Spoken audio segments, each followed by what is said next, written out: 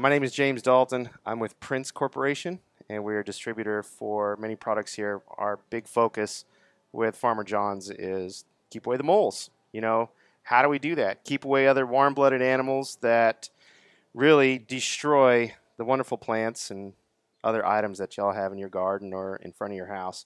What we want to do is help you two different ways. Either take care of them by removing them uh, or just repel them naturally, all the way to the point of doing it naturally, to the point of not natural, and of course, uh, destroying them. So to get started, I'm going to go over many different products, how they work, what they work, what they work on. So for any application that you have at your house, hopefully we'll find a solution. Okay? Any questions to get started? Yes, absolutely. Good point. Uh, pet friendly, dog friendly, very good point. Um, my background is I've been in the industry on the agriculture side for many years, so we work with a lot of heavy duty chemicals from both sides, natural and really strong. I'm from Texas, if you haven't been able to tell with the twang, some people brought up today. So if you have any questions, don't understand something, please just let me know. So to get started, I'm going to go with mole trap. Of course, mole trap, it's going to kill that animal. It's going to kill the mole pros and cons about it are right off the hammer is you got to go out there, you got to set it. So when you set it, like anything that is spring loaded, make sure it's set before you remove your hand and or foot when you're setting it. It's highly effective. The mole will go through a trap that's here, looks like a hoop. When they walk through there, it'll trap, it will destroy the mole. Big thing is for a lot of people that use this, it's good for many, many years. You can reuse it, but the damage is going to be there. When you start seeing the damage in your lawn, you're going to want to go out and apply it. Somebody's got to go out there and take this dead animal out of the ground. If you have, if you want to do it, you're good. If you don't, ask the neighbors, ask the kids. They'll go over there and play with that mole um, and go from there. It is effective. If you want to destroy them, this is an effective way to do it with a hoop. It's just kind of a loop, and it'll latch up. Um, staying on the mole side before we get into the different animal repellents. Moles are usually dealing with this is kind of a repel all, but the mole product is this is based in Michigan. This is out of Galien, Michigan. A lot of the testing was started in Michigan, and still we do it. We use a lot of this product. The great thing about it is this is all natural. This is pet friendly. A lot of the mole products that are out there, the number one ingredient is castor oil. So castor oil, because it gives it a bad taste. So when a mole goes through there, a mole's number one food source are insects. They do eat grubs. Everybody's like, oh, they eat grubs. But when grubs are not there in June, July, and August, they got to eat something else. So a big part of their world are earthworms. They eat a ton of earthworms this time of year. Everybody goes out there, they can see it. Earthworms are up, they're feeding the robins. And of course, the moles are chasing them because those earthworms are moving to the top. Once they get to the top, it's easy food for the moles. Okay? Other insects that are coming out, either larva, pupa stage, or even adult, they're eating whatever they can get a hold of. So, in a typical day, a mole can go up to and over 25 feet of digging. So, when you see a lot of your lawn destroyed by these raised runners, as we call them, it's just one mole. They're very territorial. They're rotten. They're mean. They keep the other ones away. So what they're doing is they're chasing for new food. They eat so much. They constantly eat. Morning, night, they're constantly eating. Eat, literally eat and sleep. So when they're doing that, if they run out of food in their little area, they're going to move on. If that food is tainted, that's the goal of this. Food is tainted, tastes bad, they of course move out faster. So when you apply something like this, you want to make sure and get them away from your lawn. We have a small area that's here. We want to push it to the neighbors, and that's kind of the ultimate goal. Once the food is bad, they're not going to come back, but you do, it is natural, you do have to reapply. So the reapplication rate on this is usually, the way I do it is tax day. No, they wouldn't eat it. It just coats coats their skin. Yeah. It coats the flavor of it. So this is castor oil. This is the highest amount of castor oil on the market. And it's based right here in Michigan, which is nice. It'll break down because it's granular, but yes, once it's watered in, it'll start to break down naturally. So if it's gonna rain tomorrow, it would be good to put that on today. Well, I don't know how much rain is coming tomorrow. You don't want wash off. Okay. That's the big thing. Okay. Is you don't want wash off. If it's a nice powder and just gets the ground wet, beautiful. Okay. That is fantastic. Uh, good time to apply is now, 4th of July, election day. That's the way I always think about it. Tax day, 4th of July, uh, election day. So the applications that go down, this little bottle goes a long way. Since the concentration is so high on it, this is a pound per thousand square feet. This small container will cover 7,000 square feet. We also have a larger container that I'm sorry I don't have here today, but it literally comes in a bucket. And that bucket is a half an acre. The reason we sell so many of those buckets is the average size lawn is 8,000 square feet here in Michigan. So you have 8, 8, and 8, there's 24,000. That's your whole year. And the reason we put it in a bucket is we were a big recycle, reduce, reuse company. The bucket, you have a bucket once you're done. It also has a tight lid because of the granulars. If they get wet, of course they get wet, they start breaking down. It's not good. That's why we don't use a bag or they don't use a bag. Same thing with a bucket. Put the lid on it, it's good. If you don't use it all in one year, that's fine. Keep it till next year. There's no expiration date on it as long as it stays dry. Okay? And for the dog, castor oil is a natural laxative. So just keep an eye on them. I've got a lab and she's she's a lab. She eats whatever. Um, she has got into it, but usually they just want to smell it and see what it is. If they do taste it, it's got um, ground pepper in it. It's a white pepper and a garlic oil. They just want to. They just curious. They usually don't eat it, but it will get on their paws if you put it out. Let the dog go potty. Just wipe down the paws because uh, it does smell like garlic. If you want to hop in and get the garlic, there's no difference between this. They just ran out of these shakers. Part of the world we're in today, we ran out of the shakers. That in a spreader. Yes, correct. And the spreader settings are on the back. Very good point. So here's drop spreader and broadcast. And when you're doing the application, because a pound per thousand, you'll think there's no way this is covering enough. It is. It is. It smells fantastic. It smells like garlic. Everything that's in here that can be food grade is food grade. Okay? Which is castor oil's food grade, white pepper, and garlic. They're all food grade. We just do that because we're in Michigan. I mean, we're we want to bring this. It's a small family-owned company. We want to bring that value to you. So moving on. Next things next. Repelling different deer and rabbit. And I'll go through each one of these. Main things on repelling deer and rabbit for many years, it's either egg or blood. One of the two. Any product that you usually pick up is usually one of those two.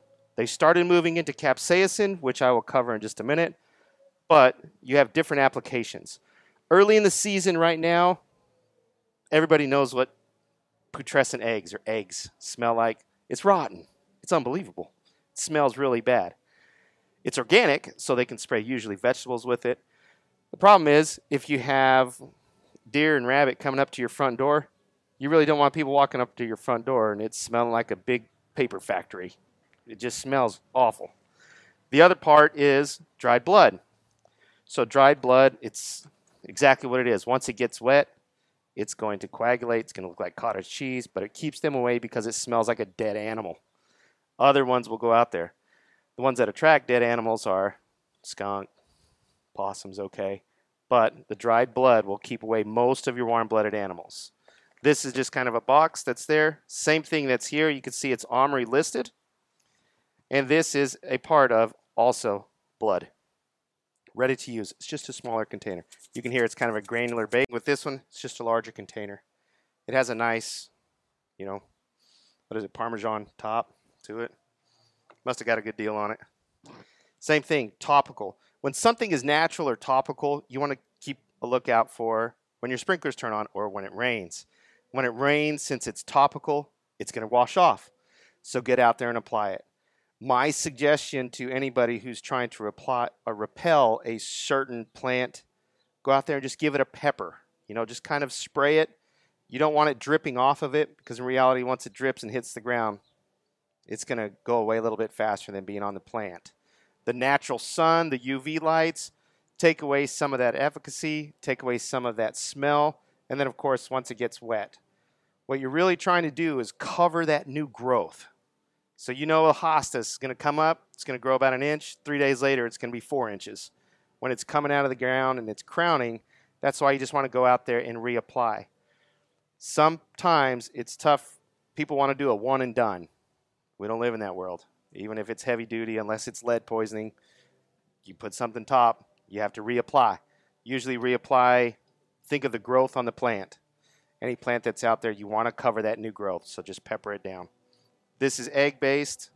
Then we get into a repels all. Number one ingredient, putrescent egg. Okay? All of them, liquid form, RTU form. Number one ingredient, putrescent egg. So the cloves and the garlic oil, clove, of course, is a really pungent smell. Garlic, everybody knows, pungent, pungent, pungent. You want to get the animals that are used to coming in and not having this smell. That's what makes them stop. Like something's new, something's different. They're very curious. They don't want to get involved until they get used to the smell and they're like, mm, we're going to try it. We're hungry. It's just like you and I and everybody else. If we get hungry, we don't like Brussels sprouts, that's all that's there. We're going to eat it.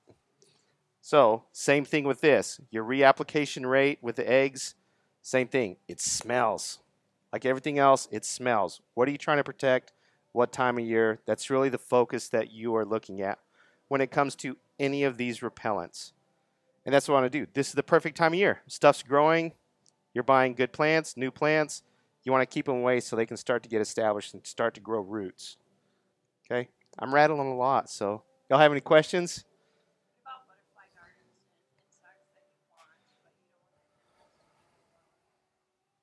That's a tough one. Marigolds. Yeah, plant some extra marigolds for the deer. They just don't like the pungent smell. Um, to put these on is fine. It's not going to, you know, the regular smell for butterflies and stuff like that. It's not going to affect them as much as what they're going after for eating. Okay. Okay, it's a good question. Yes, ma'am. Blood meal? Did you use that as a repellent? Absolutely. Blood, blood meal. It's all based on blood. Like the magnesium in Yes, it does. All blood. All blood does, yeah. Uh, blood meal. It is a repellent and also protein, so it helps on both both parts. Now, what about like I've read cinnamon, Yep. and daffodils of all things keep certain animals away. They eat my daffodils if I didn't do it. But yeah, the egg. So think of the those are pepper. So pepper based. Some people have even u- gone to like Sam's Club and used paprika or cayenne. Yes, it's just something that's fragrant, and of course, if you smell that in a powder form, it gets into your nasal. It hurts. You know they don't they don't like that smell and or taste. Problem with it is you got to reapply a lot. So there's nothing to help it suspend. So it's coming out as a powder form. Once the water hits it, it's going to soak into the ground when it comes to those. They do work, they're effective, but it's how you give the application of that particular thing. Which I'm glad you brought that up. Yes, that brings me to my next two products. I'll go over this in a second. They bought my last one a couple seconds ago, so I apologize. Here it is. Um, this is a hot pepper wax. This is a capsaicin base. So capsinoids are pulled from peppers, any kind of uh, red peppers, cayenne peppers. It's kind of the heat vein. So they get that into a liquid form. They put it here. Of course, it is hot. It might not be as hot to us. Being from Texas, we like it really hot. Might not be to them, but their senses are so so sharp that a little goes a long way. The capsinoids that are in here are a small amount. When you spray this, please, for the love of God, don't spray it into the wind. Get the wind at your back and apply that way. Okay? You'll learn very quick that you have made a mistake. It's oil. As in any oil gets on your skin, it's there. Wash it off all you want, it's going to be there. Wash it off really good. You'll learn a lesson. It is very effective. Capsinoids and capsaicin is a very effective topical and internal um, part. Still, it smells. Keep the wind at your back. On anything that you're applying on the top, please have the wind at your back. You really don't want that egg or blood blowing back on you. You going inside, sitting on the couch, and it's there. Okay? Questions, concerns? because we've gone from blood to egg, and then egg to capsinoids or capsaicin, which is, of course, a natural pepper. You're going more of a natural way. And I apologize, I have only a picture of this, and for the love of Pete, I'm going to hand it around. Um, this is the same company that brought you the mole. What they did originally is um, I ran the agriculture division for Repellex. So the agriculture divi- division used a liquid capsaicin based repellent, which of course it was topical. Topical, they had to do reapplications, but at an ag level, big level. You're spraying a lot of acres. What we wanted to do is bring that to the local market and the retail market, and the way we could do that is suspend it into a granule. So the granular soaks up that particular capsin, capsaicin, excuse me, and the capsinoids are in there, so we can handle it, we can touch it. The other part that we brought to us from veterinary medicine, we use something that goes into anything porous and drives in to a section of the plant, for instance. All your roots are porous. So that porous liquid goes into the plant. So the liquid goes into granular, the granular breaks down naturally and slowly. The other part goes into the root. By the time it's at that base, the derivative that brings it in, which is used in veterinarian medicine, goes right into the plant. So once it's in the plant, it can be a hot sunny day, it can rain. You can spray it down, you can water it down, you can hose down your plant. Doesn't matter. The capsaicin is inside the plant and it lasts the entire season. Once you do it once for the season, you're good, you're done. We brought this to a many, many years of testing and tested with different universities across the United States that we had to bring the efficacy data, which is very important to have in any product that you have background and certification to say, hey, it works. So that particular part is hostas. I was I've been talking to many hostas. That's why I sold out today, and I apologize. Hostas growers, it starts to crown out of the ground. You know, you do the application here, you do a topical spray, because this takes roughly two weeks on soft-sided plants, kind of like a hostas, for it to get into the plant. Once it's in the plant, it's there for the entire season. During that two weeks, you want to spray something topical because, for one thing, the plant is growing like a like a weed. It's growing very fast, and it's pulling in all these nutrients and all of the product. But once it's in, after that two weeks, you don't have to do a topical application. That's the beauty of it. You pay a penny more and you get the entire season of protection. If something comes over that's used to coming to your lawn every single year, like a deer, bunny, they're going to go over to that section, that part of your garden, and take a nip of it. Once they take a nip of it, they're getting a mouthful of capsaicin because it doesn't smell. One thing is, please don't put this on anything edible. The capsaicin is food grade, but we don't want hot lettuce. Like it, just don't do it. Don't do it. Don't get it close to there. Yeah, just leave it alone. Some people are like, I want a hotter jalapeno. Don't do it. Don't. It's not worth it. Um, but for everything else that's non-edible, this is something that I recommend, and we've tested it. And it's a small company, so there's a phone number on the back of it.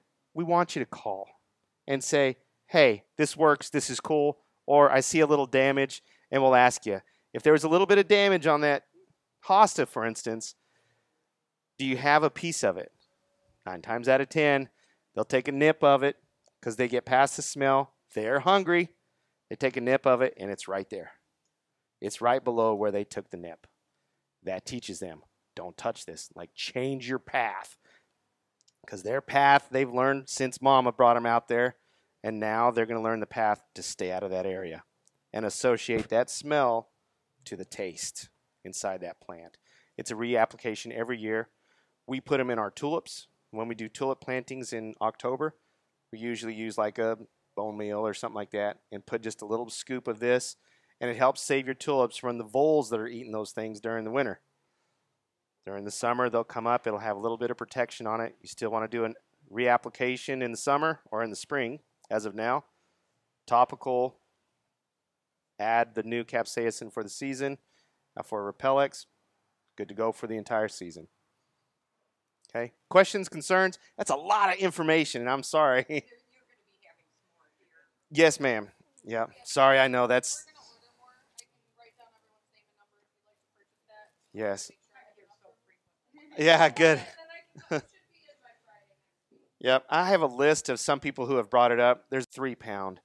We just ask, and the container is small, so please remember a little goes a long way, but follow the label. The label will tell you exactly what to use, and the way it's all gauged is the size. So if you know it's your hosta, if you you see it every year, two foot by two foot, it will tell you on the label on the back how much you need. There's a scoop inside of that container and the other one.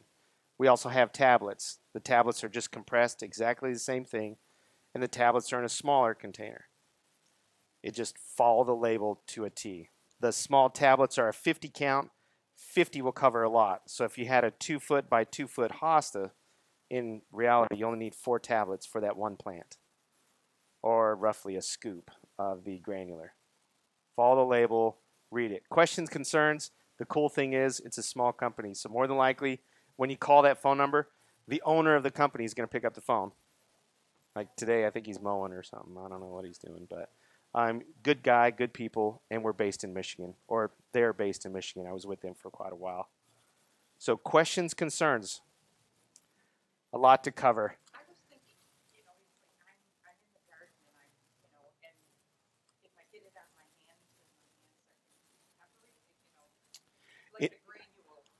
Right, like this with your your blood, you'll get like the red, like the Cheeto hands or what have you. Um, with this particular or with this particular one, your hands are non-porous, but we always ask you wear gloves. It's not going to pull into your system. Yes, the granular for the systemic, it's capsaicin. If you're working with small amounts like this, it's not going to affect and your hands not porous.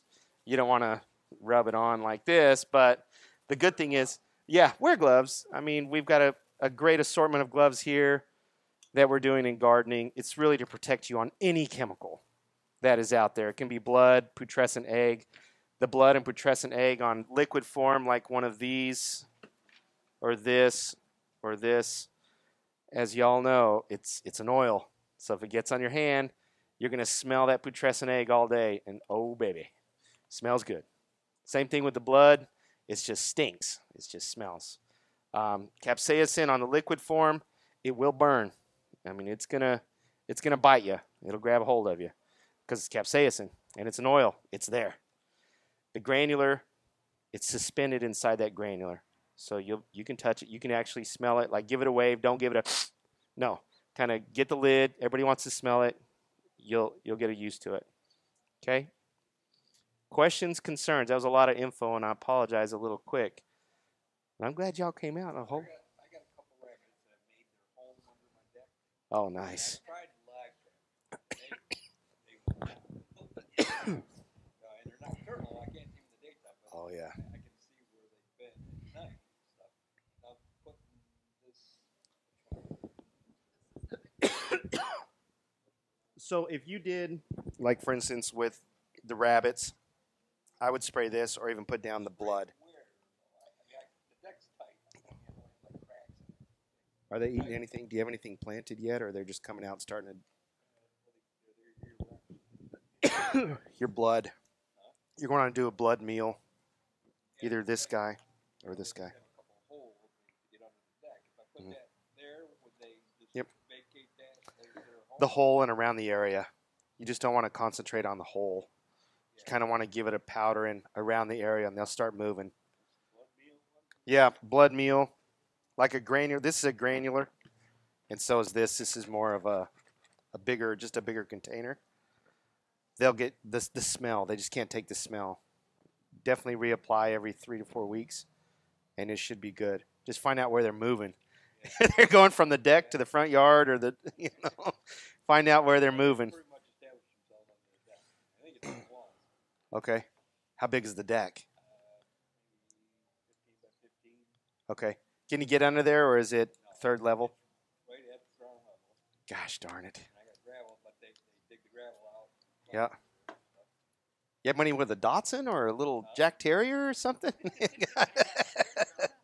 especially under there because it's tough to apply it. Traps and the traps will just sit there and sit there and sit there. you know. Gosh darn, that's tough because you can't get under there.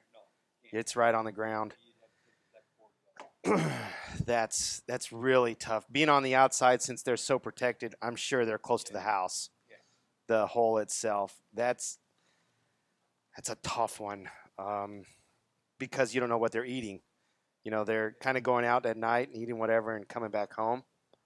I'm gonna say a Dotson, little Dotson, little Jack Terrier. It's got to be somebody. Since you can't get to them, that's the tough part. But to protect your plants, because they're going to start eating those or anything that's coming up, that's where you want to spray either blood or do the systemic of stuff that you're planting fresh. Yep, that one's a tough one, just because it's you don't know where they're at. 15 foot's pretty big, pretty good size. Rotten things. And where do moles come from? How do they, Yeah. Do they, they migrate? no, yeah, I know. I got rid of them and, and I get more back, you know, like where, Yep. they're just always looking for more food. So when it gets cold, they just follow their food. So of course, earthworms, everything else are moving deeper. They're deeper in the ground. We just can't see the tunnels. They are constantly eating. The amount of oxygen that they, they don't need very much oxygen. Yeah, this spring I noticed I've gotten like half tunnels. Okay. That's why is they're not coming to the surface. Yep. So they're still. You must have a wetter area that's there. Yeah. So they're not coming all the way to the top. The the uh, earthworms have not breached. They have not come out of the ground in that particular area. Yep. Absolutely. Oh, absolutely. So what you're looking for is you'll see the runs, and then at the end of the run you'll see kind of a a patch, blotchy spot. That's where they're bedding. More than likely. Most the last couple summers mole hunting. You know. Oh yeah. I'll go out and sit in my chair with a beer and sit there and watch for them. You know, With a pitchfork, Huh? hammer it Oh, down. I just take 'em out of the ground. Nice. If you can catch them, that's pretty good. Yes, ma'am. My husband got the great idea to poison a mole that dug under the deck and then under the slab. Oh God. Six feet, so he poisoned it. Uh huh. Well, it died under there. Oh yeah. We got a new Trex deck. Oh. So that's how you get a new deck. There you Tear it all out. Oh my. Yeah. so- Just to get to it. Yeah, that would be a better. Yeah, that's a better alternative for sure. And we don't have it here now, but there there are poisons. It looks like a worm. I've used those in my dog Yep, never again. So there are horror stories that I've heard being in the business of even if the mole ate the entire worm, my dog's a retriever. She's going to go retrieve that thing, put it in her mouth and bring it to me. It it's bad. Like you just you just killed a family member, not a dog. You just killed, you know. There's nothing wrong with it. Don't get me wrong cuz I know I'm online. Um, it's effective, but just remember your loved ones, your pets, your kids that come up and holding a mole and it's dead. And they're super soft. They're soft, almost like a chinchilla. They're super soft. Um, but the problem is your kids, if you have kids, dogs, anything that will either eat or retrieve it, you really don't want that poison in your dog's or cat's mouth. In my particular. Yeah. Yeah, thank goodness. Thank goodness. There, I've heard many horror stories, which is really sad. It's a family member. You know, our animals are family members. Um, questions, concerns? I'll get out of y'all's hair if if you're Well, good. The, the. Yes, sir. If you didn't have any moles in the middle yard and you just wanted to prevent them, could you just do a perimeter? Remember, they're coming from the bottom up, so they're not going to eat in that particular perimeter. They're going to come right underneath that and start eating here. So you need to do the whole. Yeah. And it's very inexpensive. This is 16 bucks or $17 for 7,000 square feet. That's that's a big one. Even three, you know, the larger buckets I think are $54 or something like that. But that's half an acre, 24,000 square feet. So we do an application if you have like an acre for instance or half an acre at an application, we usually say split it up. Like start from your house, do half your lawn, roughly on big lawns like that week later on the weekend, Saturday, if you're working, do the other half. So what you're doing is you're pushing them to an area, and then you've got that nice border bordered area. If you live on a tree line or like a nature preserve or something like that, every year there's going to be a new one that comes in. Even though you scared those ones out, the perimeter I still wouldn't trust because they're coming from underneath. Uh, early in the season, your winter application is just as important as your spring application because it protects so much during the winter, the fall and winter. Gets them out of there, keeps them out of there. Okay. Questions? Yes, ma'am. You didn't mention anything about groundhogs? Lead poisoning. Yeah. Because groundhogs are so big and so destructive. They're eating a lot of vegetation. They're not doing anything that's, uh, you know, um, insects. They're not eating a lot of insects. It's all vegetation. Yeah, that's going to be. Borrow his Jack Russell. Um, no, the systemic will go inside of certain plants, but you would if, if they're eating a certain plant, you could put the systemic on there. They'll keep away from it, but usually groundhogs have such a wide area that they're eating. That'd be we would love for you to buy them by the, the tonnage, but you'd have to buy a lot of a lot of systemic. Um, but if it's a certain area and they're eating a certain plant and or shrub or tree, for instance, then yes, you can do the granular systemic.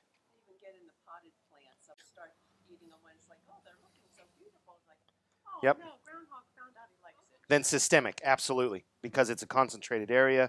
You have it on your deck or whatever. They come up there, they'll take a bite of it, capsaicin. Yes, systemic granular, absolutely. I was thinking you were talking about like your backyard in a field. Well, they're, they're there. They're, they're under the deck. Oof, that's a tough one. But if you have plants or shrubs that you really want to save, systemic granular. Well, I'm assuming he'll she'll pull in a three pounder. It's just the larger version of the little three pounder. The one and a half pounder is roughly this size. Um, the three pounder is just a little bit bigger, and they make them bigger. But just get it started, see what you do, and see what she brings in. Questions on it? Call us. You know we're happy to help, um, and he is happy to help, and she will have a lot more information now, and I'll be her pest because I'm out here every couple of weeks with them. Yep. Well, good. I thank you everybody for your time, patience, and learning more about how to keep these pests away. And hopefully, we'll see y'all soon. Thank you much.